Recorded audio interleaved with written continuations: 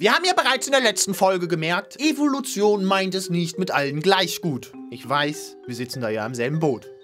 Aber euch waren die letzten Tiere zum Teil einfach nicht hässlich genug. Kiwis sind so süß. Uhu. Und selbst das fucking Dämonen-Ei-Ei fanden einige von euch noch niedlich. Ihr seid doch krank. Also ich kann es noch durchgehen lassen, dass man den Kakapo verteidigt, aber spätestens beim Marabu ist Schluss. Schön ist er nicht. Aber gut, ihr habt euch das jetzt nun mal so gewünscht. Heute werden die dicken Geschütze ausgefahren. Ne? Die Seidenhandschuhe werden ausgezogen und die freundlichen Sitten abgelegt. Der heutige Tag geht in die Geschichte ein als der Tag, an dem du gelernt hast, was dein Biolehrer dir nicht beibringen wollte. Ich werde euch überzeugen, dass es da draußen absolut hässliche Kreaturen gibt, ob ihr wollt oder nicht. Ne, und hört auf mit jedes Leben ist schön. Nein, nicht unbedingt schön von außen. Habt ihr dem schon mal in die Fresse geguckt? Ne, klar, Leben ist cool und so weiter und so fort, aber wir sind hier auch zum Lachen. Nicht für die philosophische Auseinandersetzung, ob das jetzt moralisch besonders wertvoll ist oder nicht. Ja? Wir sind hier für die Memes und für hässliche Tiere. Und direkt zum Anfang erstmal ein paar Honorable Mentions, die es leider heute nicht vollständig ins Video geschafft haben. Darf ich präsentieren? Der Ibis. Nein, der Ibis. ne, wieder mal ein Vogel, der den Storch nach dem Großbrand cosplayt. Und hier ist es sogar so heiß geworden, dass dem Typen einfach der Schnabel geschmolzen ist. Geil. Allerdings muss ich sagen, dass der Federkragen Style hat. Und wenn ich jetzt Ibisse per se als hässlich bezeichnen würde, was machen dann die ganzen Omas da draußen mit Federschalen? Die sehen literally gleich aus. They are the same picture. Selber schuld sind wir Menschen dagegen am Nacktun. Und ich glaube, da muss ich gar nicht viel mehr zu sagen, als man sieht. Es ist ein nacktes Huhn.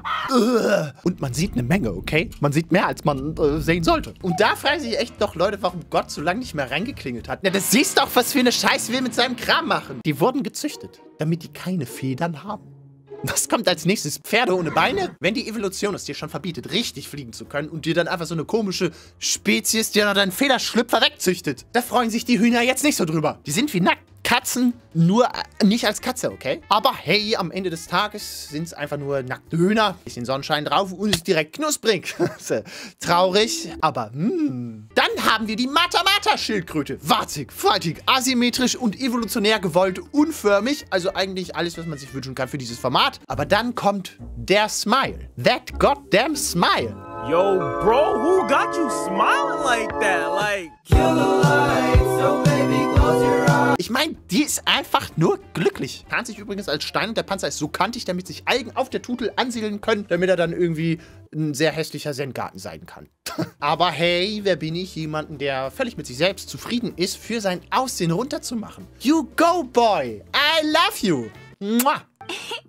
Aber dann haben wir den Grottenolm. Und da ist schon der Name hässlich. Olm. Was ist das für ein Wort, Alter? Gab's den nicht bei Heidi? Den Olmöhi? Würde gerne ein paar auf die Olmel hauen für den Namen. Und dann sieht er auch noch aus wie ein zu lang liegen gelassenes Spermium. Da hatte die Evolution einfach keinen Bock mehr, auf Befruchtung zu warten. Was sind das für Arme, Bruder? Was für Beine, Alter? Was für Körper? Es gibt einfach every day of the week. Kein Leg Day, kein, kein, kein Arm Day.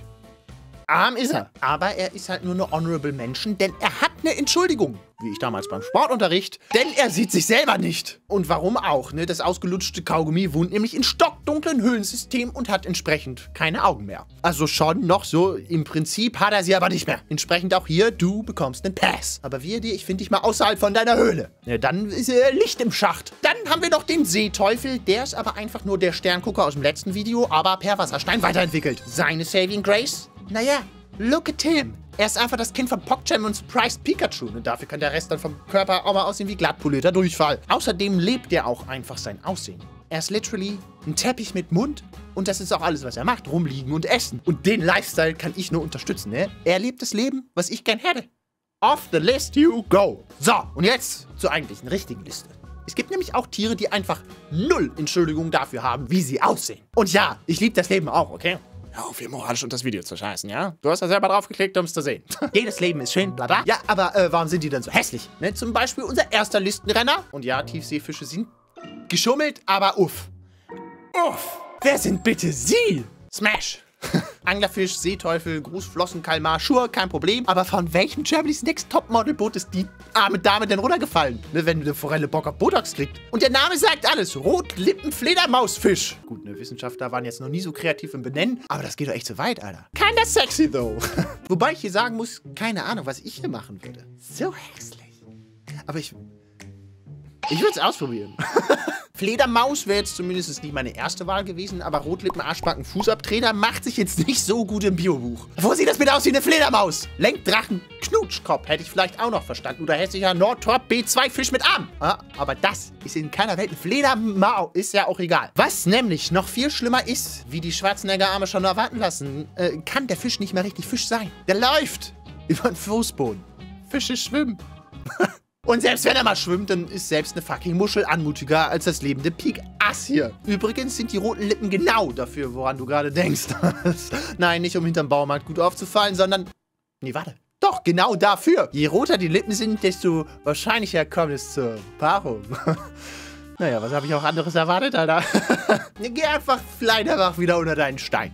Dankeschön. Aber es geht oder schwimmt in diesem Fall wirklich noch schlimmer. So schlimm, dass es hoffentlich das letzte Meereswesen ever wird. Sagt Hallo zum Inga. Hallo Inga. Ja, ist jetzt nur ein Wurm, sagt ihr da, aber nein, sage ich. Der Inga ist eben kein Wurm, sondern einfach ein über einen halben Meter langes Wirbeltier und dazu eins der ältesten überhaupt. Das ist quasi dein evolutionärer Opa. Das ist schwimmendes Rückenmark. Cool, sagt man da, ne? Nee, da sage ich auch nein. Ne? Ähnlich wie dein Opa sind die Viecher nämlich zu alt für einen normalen Kiefer und haben entsprechend was ganz Tolles aus der Urzeit mitgebracht. Ja, ausfahrbare Kettensägen zum Fleischstücke aus anderen Tieren rausschneiden. Hooray! Und dann sind die teils nicht mal so nett zu warten, bis irgendwas tot ist, sondern die saugen sich einfach an Fischen fest, die vorbeischwimmen und raspeln ihnen einfach das Abendessen aus der Hüfte. Alter, neue Diät.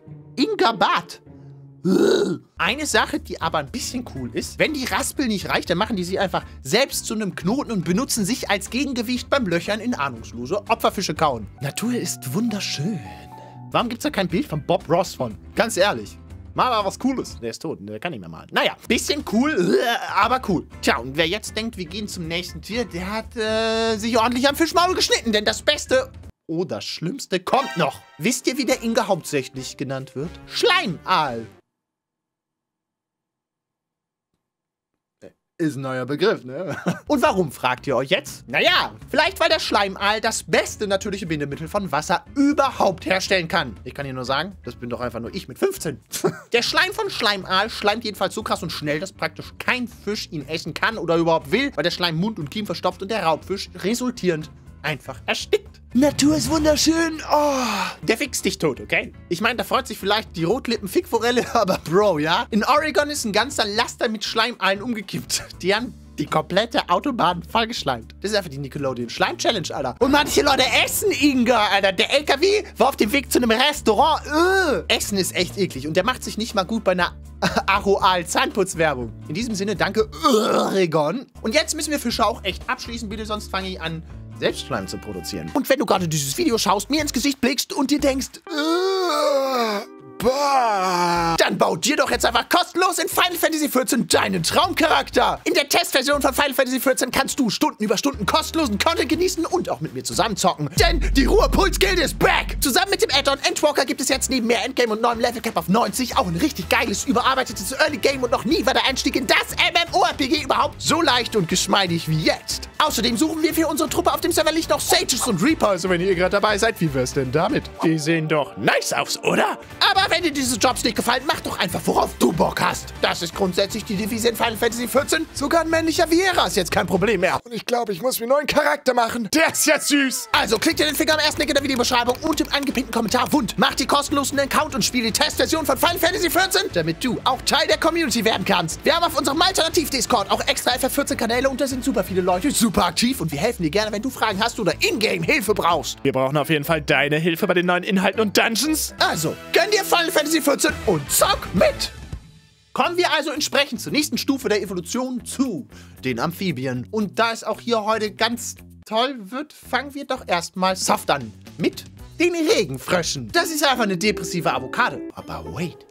Wenn es eine Hass-Avocado gibt, dann muss es doch auch eine fucking, oh ne, ich habe eine Sex in Mathe und einen Tumblr-Blog-Avocado geben. Und er hier ist eine negativ erschrockene Avocado. Beim schwarzen Regenfrosch verstehe ich fast, wenn jemand noch süß sagt. Aber die Knuffi-Tuffi-Gesichter sind eher eine Rarität unter den Regenfröschen und kommen sehr auf den Winkel an. Und je nachdem, auf welche Unterart man guckt, wechselt man nämlich ganz schnell von, wenn du sauer aber nur 1,60 bist, zu, wenn du in der Polizeikontrolle stehst und dein Kofferraum anfängt zu schreien. Ja, der gewöhnliche Regenfrosch hat die schwarzen Knopfaugen nicht so ganz gemocht und er hat es auch nicht gemocht, keinen Hals zu haben. Also hat er sich den einfach aus seinem Knubbelkörper rausgewütet. Und wie gesagt, Wüstenregenfrosch süß, schwarzer Regenfrosch traurig, aber gewöhnlicher Regenfrosch Nein! Und da kann mir niemand erzählen, dass er dieses Gesicht anschaut und es liebt. Nicht mal die Mutter. Der sieht aus wie Jabba, aber wenn Jabba nicht hot wäre.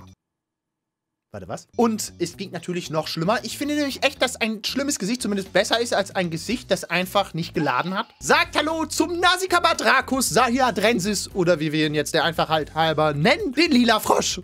Danke, Amerika. Der sieht wirklich aus als wäre er nicht gerendert. Der sieht aus, als würde der ein Restaurationsvideo gehören, ne? Wenn man dem Engelpraktikum einfach einen Frosch malen lässt. Was ist das? Und als was tarnt der sich? Abgeschnürter Mutterkuchen? Das ist einfach nur eine überreife Riesenpflaume. Der hat praktisch kein Gesicht. Der ist ein PlayStation 1 NPC im Hintergrund. Wenn du mir jetzt sagen würdest, dass das ein Ghibli-Bösewicht ist, würde ich es dir glauben. Omen-Gesicht. Omen kein Gesicht. oh! Und dann kommt ja erst das Schlimmste. Wer in his right mind hat sich gedacht, wir geben dir zwar kein Gesicht, aber eine Nase muss sein. What the fuck? Und ja, der kann besonders gut riechen, aber er sieht halt auch so aus, als könnte er es. Da bekomme ich ja echt ein bisschen Mitleid mit dem Ding, aber er wird es ja nicht mehr mitbekommen. Das Einzige, was das Ding sieht, ist seine eigene Halsfalte. Aber ohne Mist jetzt, ne? Mitleid muss sein. Diese Frösche wurden nämlich erst 2004 gefunden, weil die im gesamten Jahr nur zum Monsum am Ende der Welt für zwei Wochen aus der Erde kommen. Dann wird da ordentlich gefroscht Tango und dann verkramen die sich einfach wieder. Fürs restliche Jahr. Die unterbrechen ihr Netflix and Chill für Speed Dating und bingen dann wieder The Office weiter. Muss ich schon wieder sagen, dass ich das sehr erstrebenswert finde. Warum leben diese ganzen hässlichen Tiere einfach das Sigma-Leben und ich bin nur hässlich? Passend schließe ich die Amphibien mit was ab, das einfach kein gutes Leben hat. Hallo, liebe Wabenkröte. Zuallererst mal das Offensichtliche. Du bist hässlich wie die Nacht. Ne, ich habe erst gedacht, ich kenne dich von der Landstraße, wenn Krötenwanderung ist. Aber die sieht halt wirklich so aus, wenn sie lebt. Zumindest hat sie dafür einen guten Grund. Sie tarnt sich nämlich als mit und unter Laub und dann selber wie verwesener Kompost auszusehen, hilft halt nun mal gewaltig. Negativ Numero uno, sie haben keine Zunge. Gehören zu den Zungenlosen. Das ist literally auch der Name der Froschfamilie. Das finden vor allem die Wabinnen traurig. Womit wir auch zum Kackepunkt 2 kommen. Die Männchen und Weibchen sehen das gesamte Jahr über absolut gleich aus und können nicht unterschieden werden. Außer zur Paarungszeit, da schwillt den Weibchen nämlich das Arschloch an. und irgendjemand sitzt in den Kommentaren und schreibt gerade, wie süß er die doch findet. Alter, Hämorrhoiden sind nicht süß. Nature is beautiful. Und wenn es dann mal zur Paarung kommt, sehen wir erstmal die absolute Schlammlawine, die Kackepunkt Nummer 3 ist. Die Wabenkröten legen ihre Eier nämlich nicht irgendwo normal ab, so zwischen Pflanzen oder am Boden oder so. Nein, die kleben sich die auf den Rücken. Nicht so schlimm. Doch so schlimm. Die Eier sinken nämlich in die Rückenhaut ein, die Frösche schlüpfen in der Hautschicht ihrer Mutter und wenn die dann zum vollen Frosch gewachsen sind, dann müssen die da auch wieder raus. Und da sage ich einfach gar nichts mehr zu. Ich lasse den Clip einfach mit schöner, klassischer Musik laufen und geb dir mit. Du siehst deinen eigenen Rücken sehr selten. Alter, wir müssen da zusammen durch, okay? Mach einfach die Augen zu. Oder lass sie auf. Nimm meine Hand.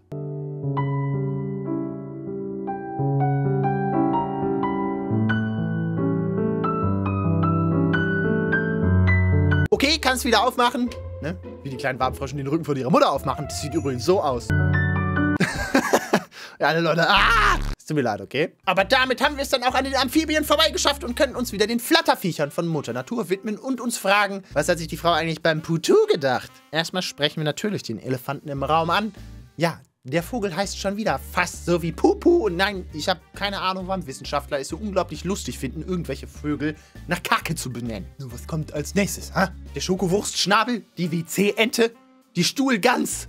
Man weiß es nicht, zurück zu Putu. Um den Namensrand direkt zu relativieren, die Gattung wird im Deutschen meistens Tagschläfer genannt. Die tarnen sich tagsüber als großer Stock. Aber komm, Stuhlgans ist lustig, oder? Der Tagschläfer kommt aber gleich in mehreren wunderbaren Variationen von Uff. Noch besser getroffen hat es meiner Meinung nach den großen Tagschläfer, wissenschaftlich auch bekannt als What the fuck, geh zurück auf deinen Planeten. Auffällig sind hier vor allem die ich meine, Jesus Christ, Alter. Und wenn wir schon dabei sind, Alter, Noah, du Arschloch, das Vieh kam mit. Aber den T-Rex ersaufen lassen, ja? Augen und Mund sind bei dem so riesig, um mir persönlich Angst zu machen. Aber wenn ich nicht in der Nähe bin, werden damit Heuschrecken, Käfer und eine gute Fledermaus gefangen und verspießen. Also mit dem Mund. Ne, die Augen, damit guckt er nur direkt in deine Seele. Und die Rufe sind, by the way, auch nicht besser. Bitte, ne? Schaut dem in die Augen, aber nicht zu so tief. Wie gesagt, der schaut euch euer Hirn weg und stellt euch einfach vor, wie dieses Tier klingen könnte. Hast du was im Kopf? Hier ist der richtige Schrei.